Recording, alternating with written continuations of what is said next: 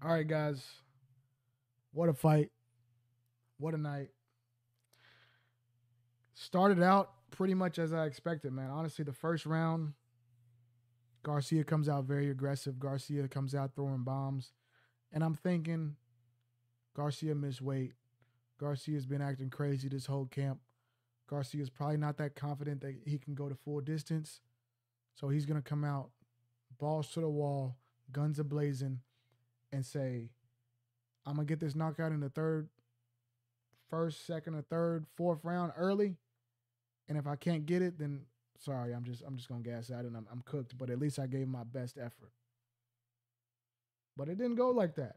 Now he came out aggressive in that first round. Wasn't able to hurt Haney as much as he wanted. Haney actually landed a, a you know some sharp punches to keep him off. And then Haney gets into his bag and and pretty much starts doing what I expected the entire fight to be. Second round, I had Haney. Third round, I had Haney. Fourth round, I had Haney. Fifth round, I had Haney. Probably even sixth round, I had Haney. He, he, he's starting to take over. Ryan Garcia. I was saying on my stream, Ryan Garcia just completely abandoned his jab. He completely stopped jabbing. And for a couple rounds, I was literally thinking, and even even after the result of the fight, when he turned the tide, I'm starting to think, does this dude really train? because between fights, he doesn't seem to add any new wrinkles. He doesn't seem to add any new wrinkles. He seems to the show, yeah, like you're saying in chat right now, the shoulder roll. He he throws this nonstop, just spamming left hooks. His defense is a nonchalant, unpolished shoulder roll, where he doesn't actually shoulder roll. He just turns his back He's not throwing any jabs. He's letting Haney go first in every exchange. Haney goes first, and he tries to counter with a left hook. Haney goes first, he tries to counter with a left hook. Haney goes first, he tries to counter in the left hook. That's pretty much what the second, third, fourth, fifth, sixth round were. Every round was pretty much the same thing. Haney's trying to spam left hooks. And I'm like, okay, this is exactly what the tank fight was. He's spamming the left hook, and if he can't land the left hook, he's too one dimensional to get started on anything else. He doesn't jab. So Haney's gonna cruise. And then we see a moment that we've never seen in Devin Haney's career. Devin Haney hits the canvas in the seventh round, and it's bad. And it's guess what? A left hook. The right hand was landing as well. Yeah, you're right. The right hand was landing. But I think the left hook was really opening up everything else because once he landed that left hook in the seventh round, Haney was so scared of that left hook that the right hand just became money also. And he drops him bad in the seventh round. Bad in the seventh round. I mean, bad. Like he could have had him out cold. I think he could have had him out cold if Ryan Garcia composed himself a little bit more because he has that moment where he drops Haney badly. And we've never seen Haney hurt. And this is something that will follow Haney in his career because, you know, you see some guys that get dropped, they take that 10 count and they get back up and they're ready to go. But Haney was hurt for rounds. And honestly, I don't think after the seventh round, Haney really, Haney really recovered at all back to himself. He I don't think he really ever recovered after that seventh round back to himself. And Ryan Garcia just gets so aggressive that the referee has to take a point. He throws an illegal blow. The referee takes a point, and I'm like, oh my God, Ryan, you just blew your chance. That was your chance. You could have knocked him out cold because he's hurt so bad. He's hurt so bad. He's stumbling. He's falling at your knees. He's grabbing. He's desperately. The ref did let Grant Haney grab, but also in those in between rounds, Garcia was grabbing a lot as well. So, and also he never took a point for um, Garcia turning his back, and Garcia turned his back probably ten times at least in this fight, at least. But yeah, um, Garcia hurts him badly in that seventh round, but he loses a point. So that's a 9 8. Should be a 10 8. 9 8. So I'm like, damn, Ryan, you blew it. That was your chance. But then he comes out in the eighth round, and I thought he won the eighth round as well. Ryan Haney is still very hurt. Very hurt. Ninth round, Haney kind of recovers. Ninth round, Haney kind of recovers. And I'm thinking, okay, Garcia, all the Twitter antics, all the everything. Your, your, your brain is just not in it. You had him, but you're not disciplined enough. You're too much of a head case. You just blew it and you're done. And now Haney's just going to cruise to a decision. And that happens in the ninth round. And then we get to the 10th round. And the left hook lands again. Bad. Bad. And he never recovered from this. He never recovered. Honestly, I'm I'm thinking after he gets hurt badly in the 10th round, I say, okay, this this is actually becoming so bad that Garcia is not only a knockout threat, Garcia could win the decision just from how much he's hurting you now. So he hurts him in the 10th, and I go, okay, Haney, if you can recover and win one more round decisively, I think you can still win this fight. It's close. If you can win one more round after you get hurt badly in the 10th, if you can recover and steal one of these rounds back, I think you can win or you can get a draw. And he just never did. Hurt bad in the 10th, hurt bad in the 11th, hurt decently in the 12th. But after that 10th round, like I said, Haney had never been dropped. We had never seen how his, ch- his chin or his recovery were. And after that 10th round, I'm telling you right now, everything Haney was getting hit with hurt him badly. Everything Garcia hit him with was hurting him. Go watch the 10th, 11th, 12th round. He's in a nonstop, constant state of panic. A nonstop, constant state of panic. And I got a lot of Haney fans that been telling me Tank ain't ready. I got a lot of Haney fans that been telling me Teofimo ain't ready. All right, I'm reading chat. Haney should have ripped to the body when Ryan's back was turned. He did it when the ref warned him, but then it. Yeah, see that that is another factor in the fight. Here's what happened: the referee didn't want to continue to get involved. He's hitting him in the back the referee gets involved. He's hitting him in the back, the referee's getting involved. He's hitting him in the back, the referee gets involved. And then at some point, Ryan just keeps turning his back. And I think the ref is just like, you know what? You're going to keep turning your back. Just, okay, I'm going to let him hit you. And there's one point in the fight where Devin throws like six or seven straight punches directly to his back. And the referee's just like, stop turning your back. And I think that's valid. And I do still think for Ryan Garcia's future, it doesn't look like he's, you know, I've heard it from a couple of his coaches. You know, he changes camps a lot, and, and a lot of the coaches say you don't really coach Ryan, you kind of coach with him. He kind of coaches himself, and you just kind of are a guide. And I can see that because, like I said, he could. No, this this is actually what frustrates me so much watching his fights. He could actually be so good. Ryan Garcia could be so good. Imagine if Ryan Garcia, along with that left hook, had a sharp jab, which he does have a sharp jab, but he had a sharp jab that he consistently throws. Imagine he had a sneaky right hand.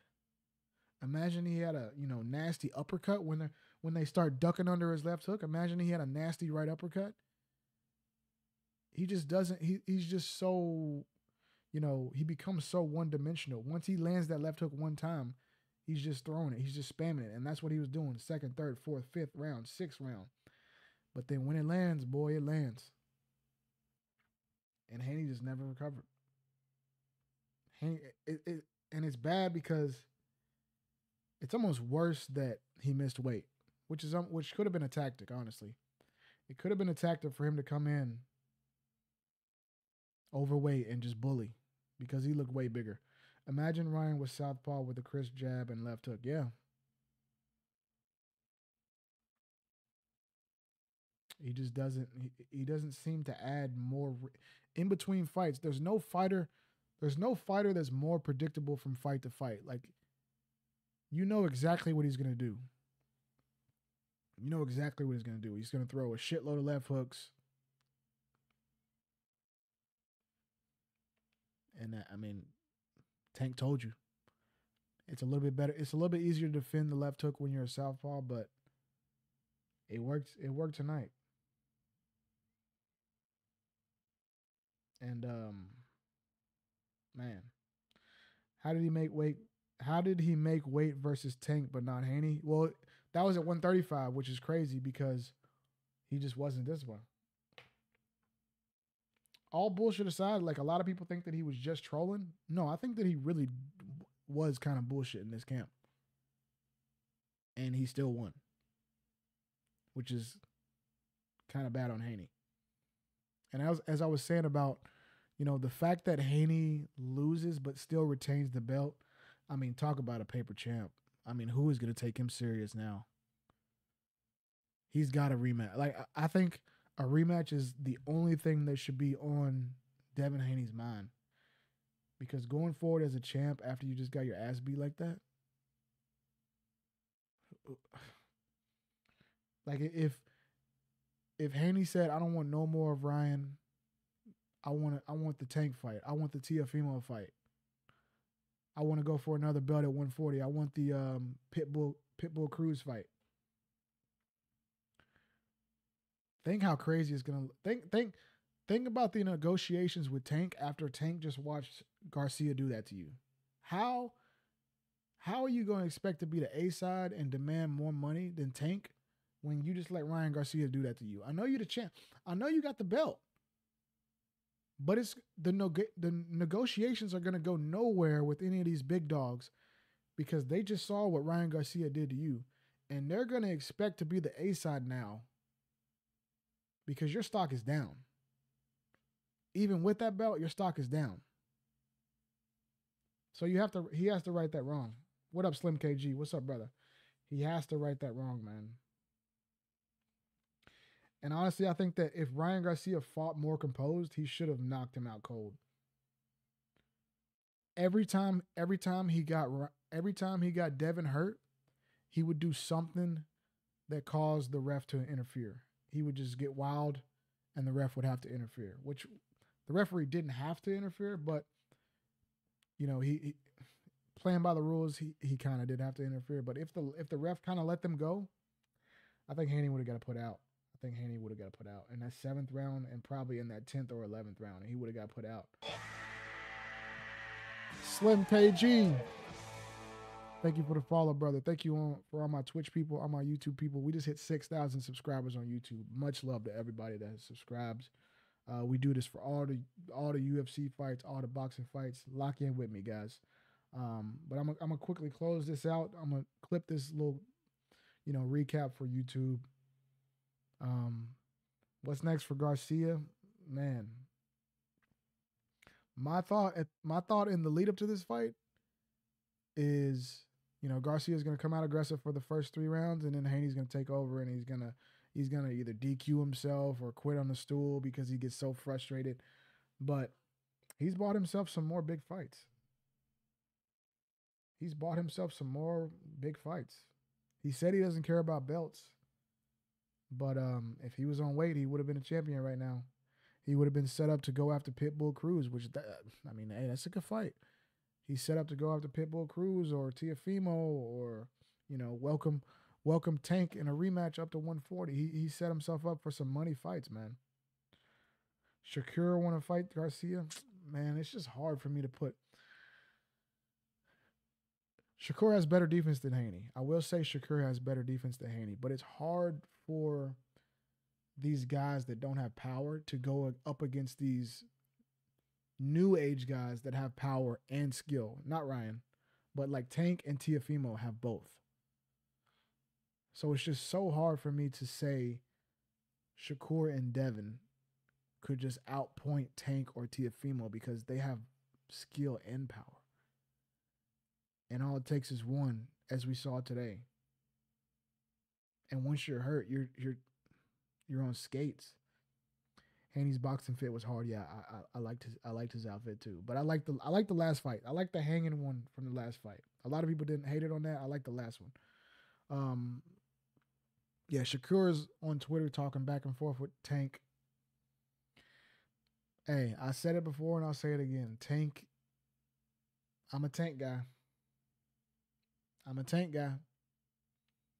I'm not gonna rub it in y'all Haney fa- Haney fans' faces because I like Haney too, and I picked Haney to win tonight. But I'm a tank guy, and I told y'all, Tank has skill and power. He has both. You ain't gonna be just able to, you know, outbox him and stand on the outside and stun on him for a whole fight. You're not. He's gonna land eventually. He's gonna land eventually. The only way that I can see Tank possibly losing to any of these guys is, of course, by decision, and of course, by the fact that he's, you know, a slow starter, similar to like Canelo. Sometimes he'll he'll let you get four rounds ahead. He'll just chill for four rounds, downloading, not throwing throwing like single digit punches per round. He's just chilling. And somebody could possibly get so far ahead of him on the scorecards, and then eventually that that one shot doesn't land, and then he's in trouble and, and loses a decision. But um, Tank is my guy. Haney should be forced to vacate his belt. Yeah, honestly, if I was if I was Haney, I would have fucking came in that ring and just threw my belt on the ground like, yo, I'm a joke. I I I need to win this fight before I can even touch that. I don't want to see this belt. I would literally go in the middle of the ring on the mic, take my belts, throw them on the ground. Until I beat this guy, I don't even want to see these belts. Don't don't bring these belts in my house. Don't bring these belts around me. I don't deserve these belts right now until I can beat this man right here in front of me. And then that puts the demand on the rematch, and the rematch is for the belt. And then hopefully Ryan can make make weight, or maybe Ryan strategically is gonna miss weight. I don't know. You know, maybe maybe that's an advantage, but hey, Devin said yes to it, so what can you say? What can you say? Man. What a fight, man. What a fight. Wow. All my YouTube folks, let me know what y'all thought about the fight. Let me know y'all what, what should be next for all these guys. And let me know, just let me know what's on your mind. Let me know in the comments. Appreciate you guys for watching. I'll catch you on the next fight. The next stream I'm going to do, the next YouTube video, and next everything I'm going to do is going to be for the Canelo versus Munguia fight. We'll be live for that. I think the same day there's a UFC fight.